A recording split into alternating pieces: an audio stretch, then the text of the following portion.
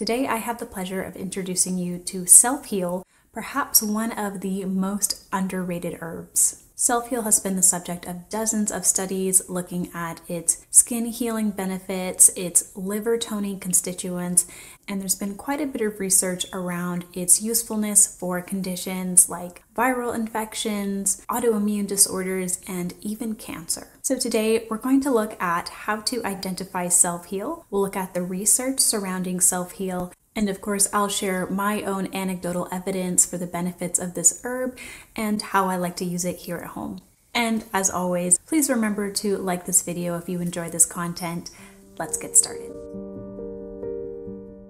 Self Heal or Prunella vulgaris has documented use as far back as 25 AD. In Shennong's classic of the Materia Medica in the Eastern Han Dynasty, the herb is described as bitter, acrid, and cold. Self heal appears again in the 16th century in De Historia Stirpium Commentarii Insignes, written and illustrated by Leonhard Fuchs, published in 1542. Self heal is a member of the mint family Lamiaceae, and like most members of the mint family, it thrives as a creeping ground cover, spreading through rhizomatous growth.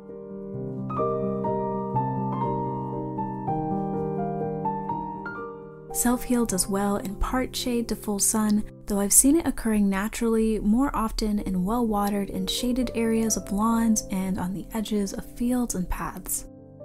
It's a perennial with ovate to lanceolate shaped leaves with generally smooth margins, though some leaves may have dentate edges, especially near the base of the leaf. The leaves grow opposite of each other in pairs, alternating in direction up the stem to maximize the capture of sunlight.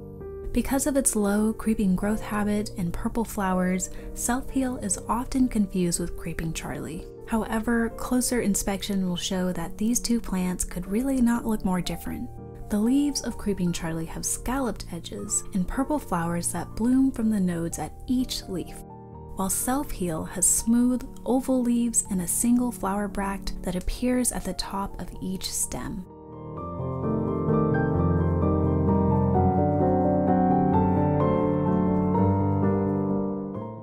The flowers of Self Heal are wonderfully unique and beautiful.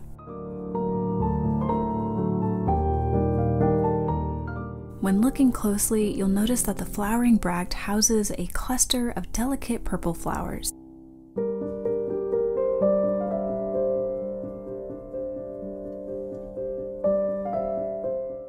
The calyx or green parts of the bract that protects the flowers is sometimes tinged with a burgundy red and is often covered in hundreds of tiny hairs.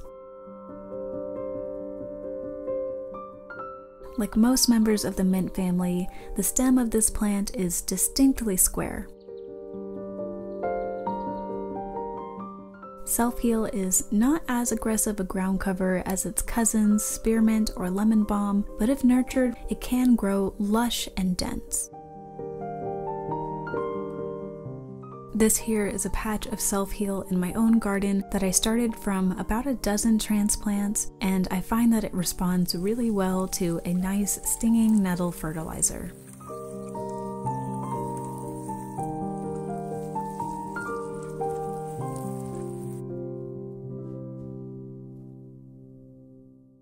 John Parkinson, an herbalist for English nobility in the 16th century, used self heal topically as a styptic to stop the flow of blood in fresh wounds. Modern day herbalist Julie Breitensiel makes an ointment with self heal infused olive oil and beeswax to apply to minor injuries.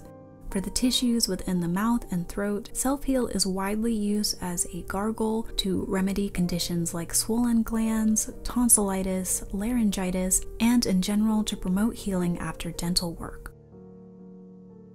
The main active constituents in self heal are triterpenoids, sterols, flavonoids, and volatile oils, which are known collectively to provide anti inflammatory, antibacterial, antiviral, and anti tumor effects. Triterpenoids in particular are known to benefit the liver, while consuming plant sterols as a part of one's regular diet provides benefits to those who struggle with high cholesterol.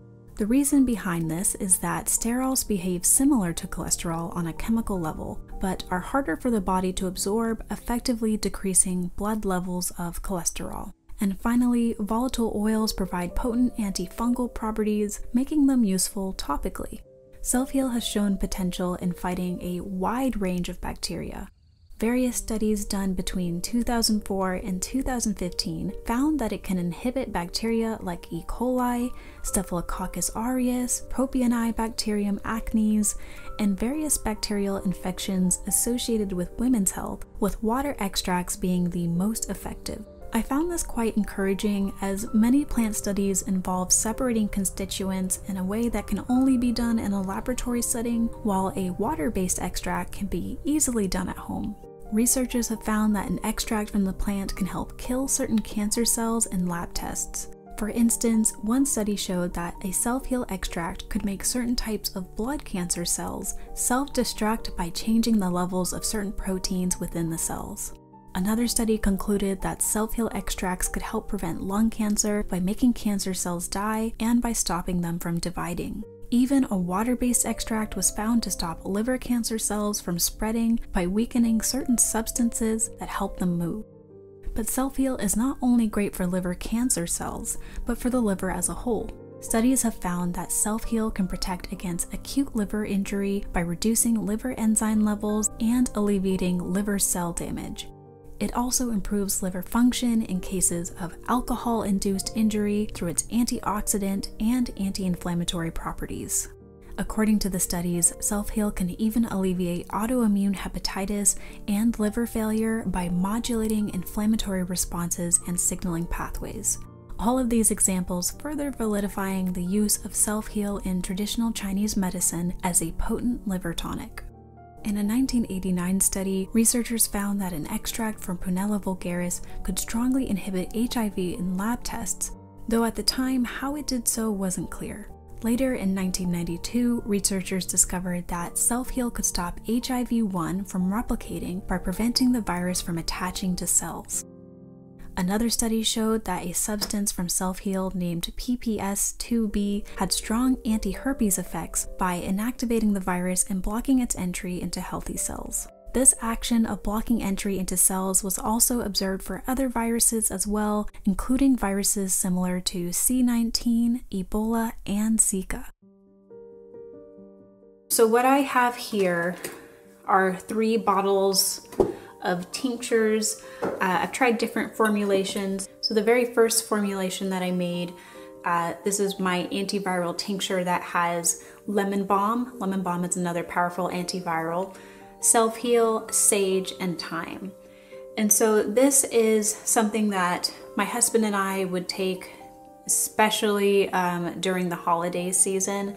So, my husband works in the educational setting, and um, when the students go home for Thanksgiving break and then they come back to the campus, um, almost every year after that period of two weeks, my husband comes down with a serious illness, and then I also get it.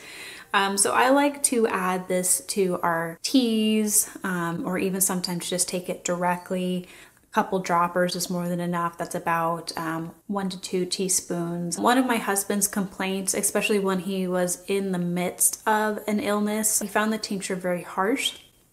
So I made another formulation that is lemon balm, self heal, rose petals. Rose petals are another uh, powerful antiviral. It's also great for headaches, apparently. And then sage and mint. So I added the mint, hoping that the cooling qualities of mint would make this tincture uh, a bit more tolerable, but I found that it's still quite harsh. This is a 100 proof alcohol, and of course, that's going to be pretty harsh on the throat. So, we tried mixing recently this tincture with glycerin.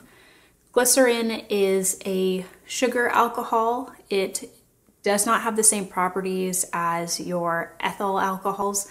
Um, it's syrupy, it's a sweet syrupy substance, and it's often used to um, sweeten medicines. You can also use it to make certain infusions. And so, what I did is I just took that tincture and then I cut it. Um, I want to say this is about two thirds tincture and one third of that glycerin.